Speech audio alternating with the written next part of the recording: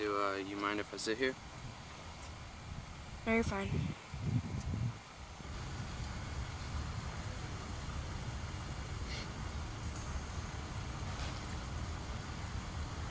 What are you reading?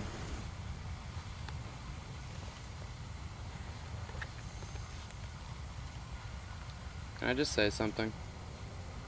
What? Considering I just took a seat on this very public bench and have been nothing but polite to you, you're being kind of rude. Excuse me? You're rude. Slightly impolite. Not that friendly. Look, I don't have to take this. Enjoy your bench, alright? Wait. What?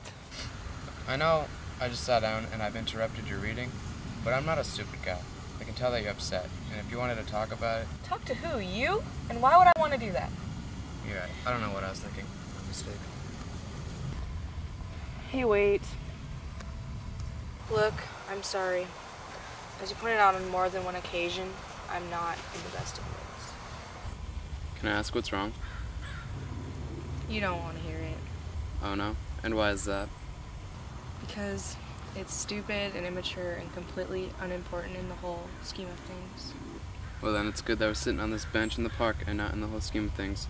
Because if we were in the whole scheme of things, not much would be important. It's my boyfriend. My really stupid, really unreliable boyfriend. And how long have you and Mr. Perfect been together? Just shy of a year. We were one of those couples that most people didn't expect to see together, you know? He's got the hot bod, the macho man look, and I'm more of the philosopher. The girl who loves to spend all Saturday in bed reading, thinking about him and what I could do to make us stronger, better. I guess we really are just too different.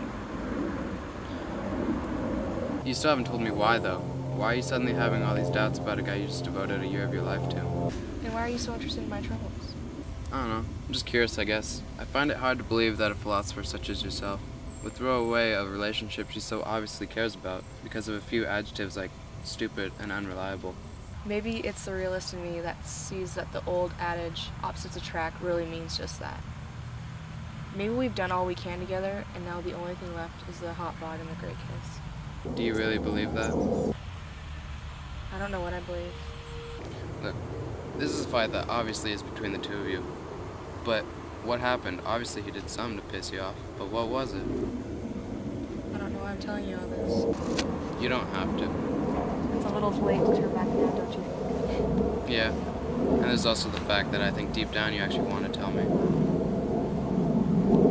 I have this ring. My mother gave it to me on the first day of first grade as sort of a good luck charm. And I was really attached to my mom when I was younger, and so when I started school, I was anything but cooperative.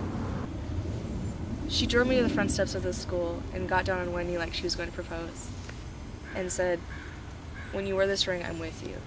There's no such thing as separation. Just keep wearing it, and I'll always be there.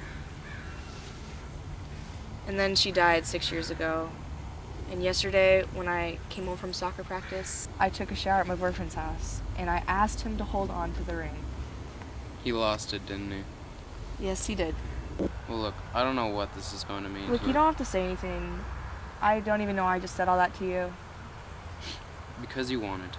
You love him. No matter how stupid or unreliable, whatever else he may be, you love him. And he loves you. And how do you know that? You know how I know. Did you really think I'd leave without finding it? I mean, I know I'm stupid and unreliable, but come Hold down and the girl by your side.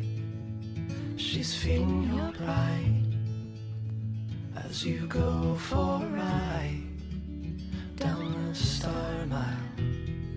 Worlds rise as she lets you come in. The duo begin.